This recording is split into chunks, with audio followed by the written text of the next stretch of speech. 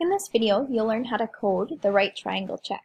This program utilizes the Pythagorean theorem. My name is Ashley, and I'm one of the co-founders of CS and Math. At CS and Math, we are not looking to, to replace traditional math. Rather, we're looking to infuse career-ready applications of math and exposure to the principles of computer science into all of our lessons. Let's get started. The very first thing we want to do here today is we want to um, create a right triangle on our screen. So a couple ways we can do this. We can come down to choose a sprite and we could upload one from online if we liked it. I'm going to choose to paint mine today. So I'm going to select my line here and we'll make it, we'll say size 10. I'm going to draw my right triangle. Notice the corners will attach here.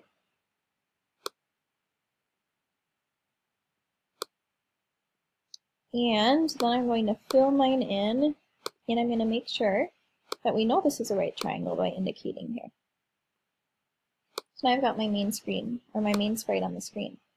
Next what I'm going to do is delete my cat, because I don't need this cat for this program. Uh, I'm going to come back to the code block up top here, and we're going to need three variables for this program. So if I come down to variables and hit make a variable, I'm going to need side A, side B, and side C. And notice how these are showing up here on the screen. So I'm going to move these to the side indicated. And A and B don't matter, but letter C does need to be on the hypotenuse here. Super. So the very first thing, typically when we start a program, we come here to events, and I'm going to drag a green flag out here onto the main screen. And once the green flag is out here, this just means as I hit this green flag, my program is going to start. So the next thing we want to do is we want to ask our user what these side lengths are, so then our program can determine is this a right triangle or not. So the first question we should ask is what is the side length of side A? Now notice if I ran this, it's asking me the question, and I could type this number in, and where is this? Where does this number go? It goes here into this answer block. Notice if I click answer, 3 is stored inside of here. So what I want to do is I want to set my side length A to the answer that was typed in. Now notice the difference here. Uh, I'm going to type in 3 for letter A, and notice it is stored here as A. Wonderful. Now we need to do this for each of my other two sides. So now we want to know what is the side length of side B. And whatever they type in, I want to set B, side B, to that answer. And finally, what is the side length of side C? And we will set C to that answer. Now, one thing we'll note if we were to run this, and we were to type in side A is 3, side B is 4, side C is 5. If I wanted to run this again, notice they're staying at 3, 4, and 5, so what we could add to the start of our program is we could add some blocks here that reset our variables. So I could set A to 0 and B to 0 and C to 0 and now notice the difference when I start my program. Everything's reset and now I can type in my variables. So that's just a preference. Um, the next piece we need here is an if then else block. So I'm going to come in here to control, and we'll see this here.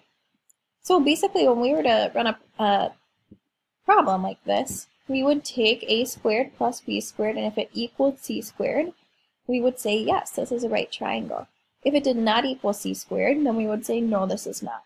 So that's exactly what we need to do here. If we have an operator, as most of our mathy blocks here, so we've got an equals, so um, we're going to do a squared, and there's no squared block in Scratch. So we can do a times a will suffice as a squared. So a squared, and careful with order of operations here, plus, now we need b squared, so b times b.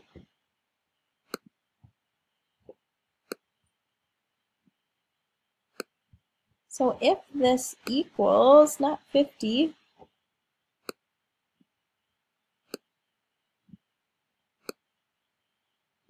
if this equals now our c squared, which I can pull here. Now we need c times c.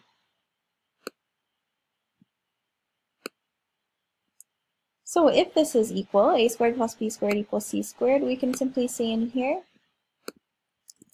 you have a right triangle. Now this else block basically says, if this isn't true, here's where we go instead. So if a squared plus b squared is not equal to c squared, then we say this is not a right triangle. Let's test this program out. So 3, 4, 5 we know is a good check for a right triangle. And we'll see you have a right triangle. Now let's try 7, 8, and 9. This is not a right triangle. So you'll notice this program is up and running. Best of luck as you create your own.